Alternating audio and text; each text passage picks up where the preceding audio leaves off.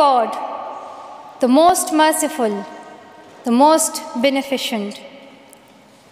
Your Majesties, Your Royal Highnesses, distinguished members of the Norwegian Nobel Committee, dear sisters and brothers, today is a day of great happiness for me. I'm humbled that the Nobel Committee has selected me for this precious award. Thank you to everyone for your continued support and love. Thank you for the letters and cards that I still receive from all around the world. Your kind and encouraging words strengthens and inspires me. I would like to thank my parents for their unconditional love. Thank you to my father for not clipping my wings and for letting me fly.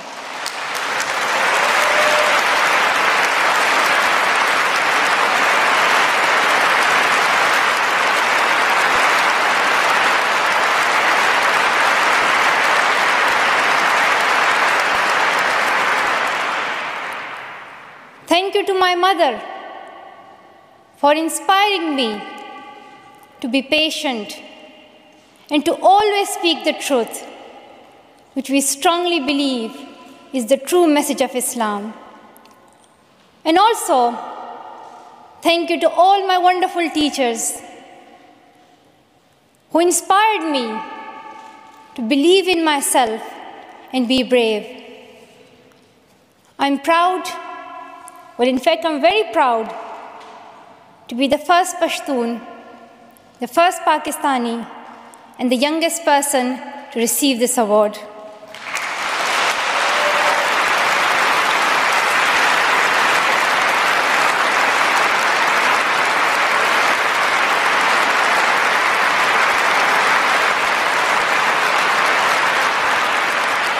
Along with that, along with that, I'm pretty certain that I'm also the first recipient of the Nobel Peace Prize who still fights with her younger brothers.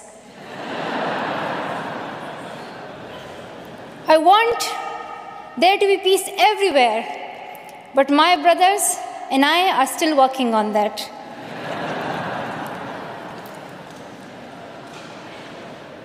I'm also honored to receive this award together with Kailash Satyarthi, who has been a champion for children's rights for a long time, twice as long, in fact, than I have been alive. I'm proud that we can work together. We can work together and show the world that an Indian and a Pakistani, they can work together and achieve their goals of children's rights.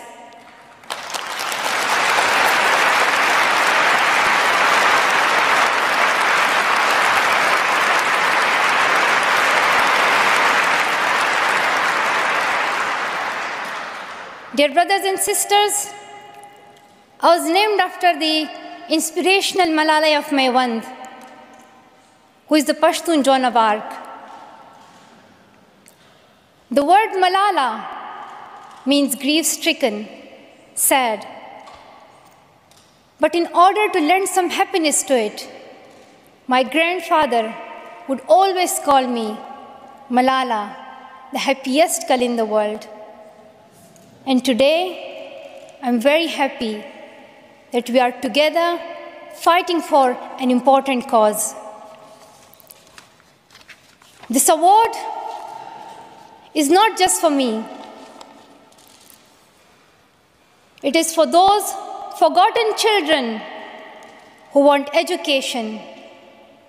It is for those frightened children who want peace. It is for those voiceless children who want change. I'm here to stand up for their rights, to raise their voice. It is not time to pity them. It is not time to pity them. It is time to take action. So it becomes the last time. The last time. So it becomes the last time that we see a child deprived of education.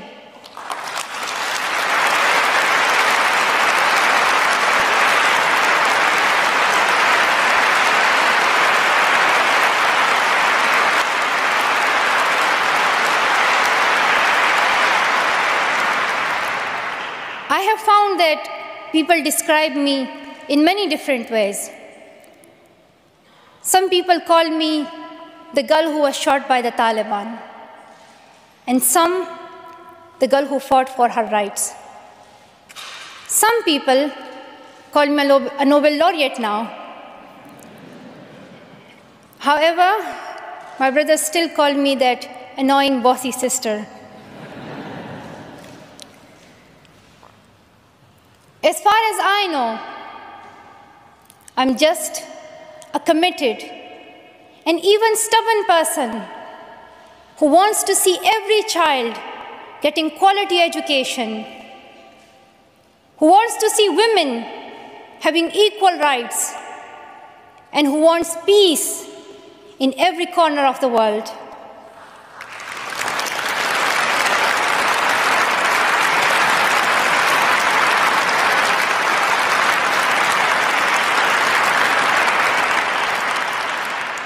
Education is one of the blessings of life and one of its necessities. That has been my experience during the 17 years of my life.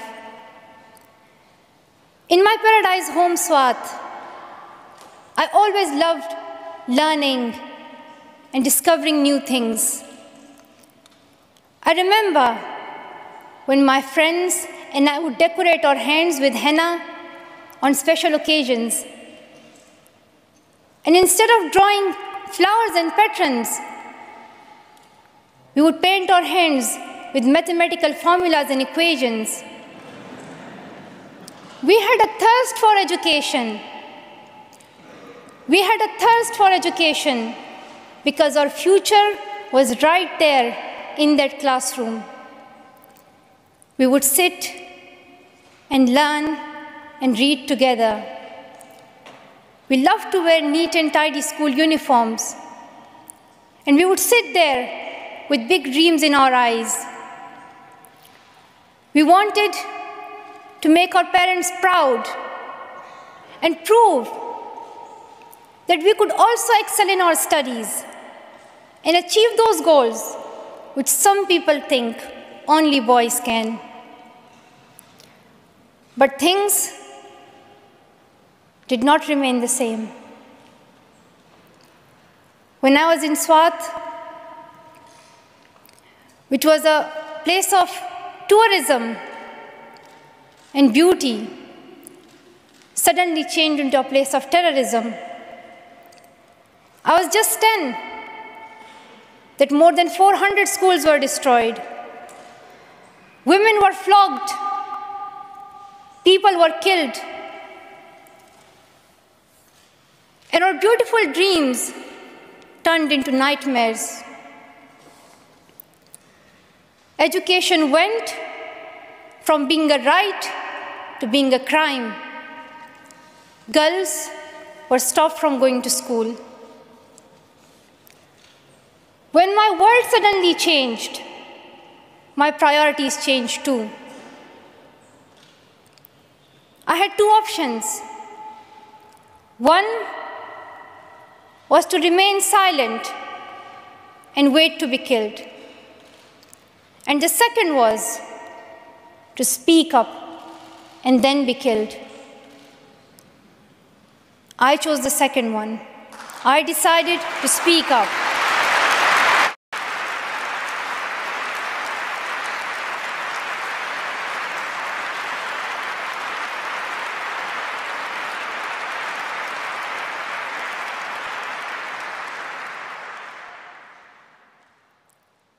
We could not just stand by and see those injustices of the terrorists denying our rights. ruthlessly killing people and misusing the name of Islam, we decided to raise our voice and tell them Have you not learned? Have you not learned that in the Holy Quran Allah says, if you kill one person, it is as if you kill the whole humanity? Do you not know that Muhammad, peace be upon him, the Prophet of mercy, he says, Do not harm yourself or others. And do you not know that the very first word of the Holy Quran is the word Iqra, which means read? The terrorists tried to stop us and attacked me and my friends who are here today on our school bus in 2012. But neither their ideas nor their bullets could win. We survived. And since that day, our voices have grown louder and louder.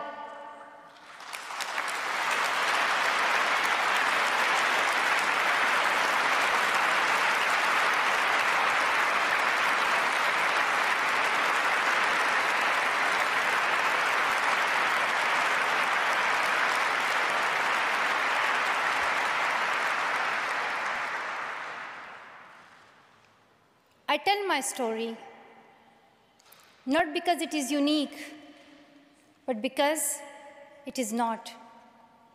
It is the story of many girls. Today, I tell their stories too. I have brought with me some of my sisters from Pakistan, from Nigeria, and from Syria who share this story. My brave sisters Shazia and Kainat, who were also shot that day on our school bus. But they have not stopped learning. And my brave sister, Kainat Somro, who went through severe abuse and extreme violence. Even her brother was killed, but she did not succumb. Also, my sisters here, whom I have met during my Malala Fund campaign. My 16 year old courageous sister, Mozoon, from Syria, who now lives in Jordan as a refugee. And she goes from tent to tent, encouraging girls and boys to learn. And my sister, Amina, from the north of Nigeria, where Boko Haram threatens and stops girls and even kidnaps girls just for wanting to go to school. Though I appear as one girl, though I appear as one girl, one person who is five foot two inches tall, if you include my high heels. It means I'm five foot only. and girls.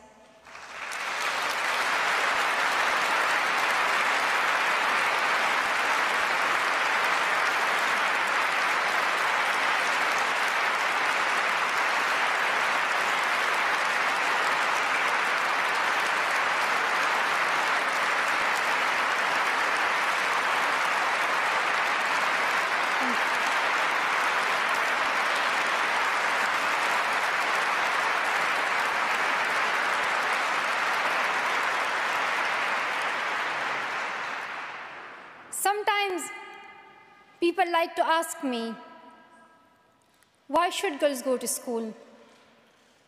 Why is it important for them? But I think the more important question is, why shouldn't they? Why shouldn't they have this right to go to school? Dear brothers and sisters, today, in half of the world, we see rapid progress and development. However, there are many countries where millions still suffer from the very old problems of war, poverty and injustice. We still see conflicts in which innocent people lose their lives and children become orphans. We see many people becoming refugees in Syria, Gaza, and Iraq. In Afghanistan, we see families being killed in suicide attacks and bomb blasts. Many children in Africa do not have access to education because of poverty. And as I said, we still see, we still see girls who have no freedom to go to school in the north of Nigeria. Many children in countries like Pakistan and, in, and India, as Kailash Satyarthi mentioned, many children, especially in India and Pakistan, are deprived of their right to education because of social taboos, or they have been forced into child marriage or into child labor. One of my very good school friends, the same age as me, who, ha who has always been bold and confident girl, dreamed of becoming a doctor. But her dream remained a dream.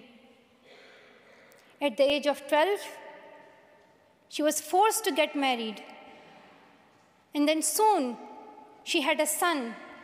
She had a child when she herself was a child, only 14. I know that she could have been a very good doctor, but she couldn't because she was a girl. Her story is why I dedicate the Nobel Peace Prize money to the Malala Fund to help give girls quality education everywhere, anywhere in the world, and to raise their voices. The first place this funding will go to is where my heart is, to build schools in Pakistan, especially in my home of Swat and Shangla.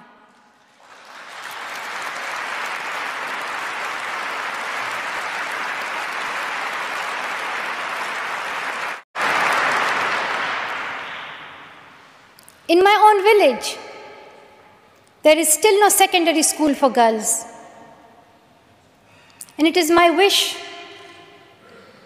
and my commitment and now my challenge to build one so that my friends and my sisters can go there to school and get quality education and they get this opportunity to fulfill their dreams. This is where I will begin, but it is not where I will stop. I will continue this fight until I see every child, every child in school. Dear brothers and sisters,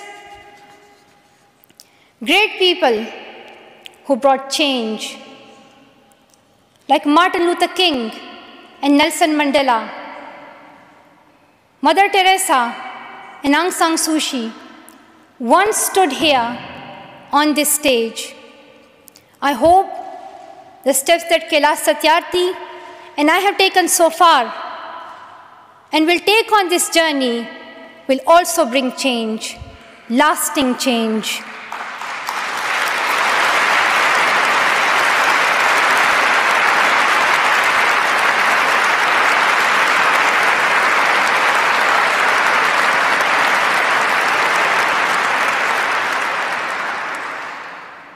My great hope is that this will be the last time, this will be the last time we must fight for education. Let's solve this once and for all. We have already taken many steps. Now it is time to take a leap. It is not time to tell the world leaders to realize how important education is. They already know it. Their own children are in good schools. Now it is time to call them to take action for the rest of the world's children. We ask the world leaders to unite and make education their top priority. 15 years ago, the world leaders decided on a set of global goals, the Millennium Development Goals. In the years that have followed, we have seen some progress. The number of children out of school has been halved, as Kailash Satyarthi said. However, the world focused only on primary education, and progress did not reach everyone.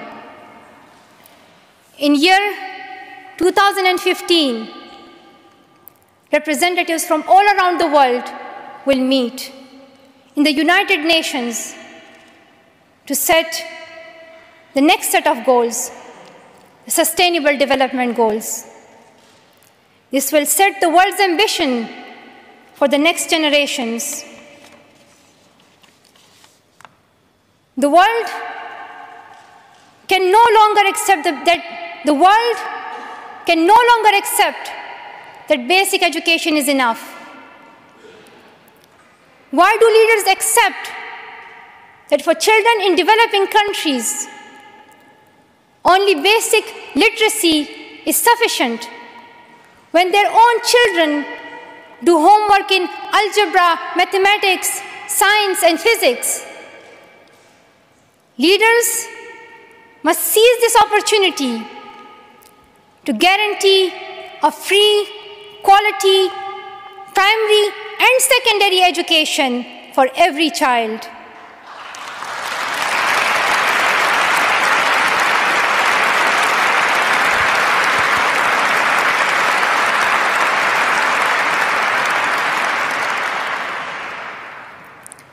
Some will say this is impractical, or too expensive, or too hard, or maybe even impossible. But it is time the world thinks bigger. Dear sisters and brothers, the so called world of adults may understand it, but we children don't. Why is it that countries which we call strong are so powerful in creating wars but are so weak in bringing peace. Why is it?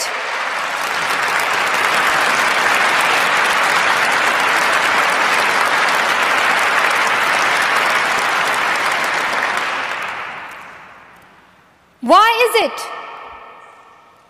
that giving guns is so easy, but giving books is so hard.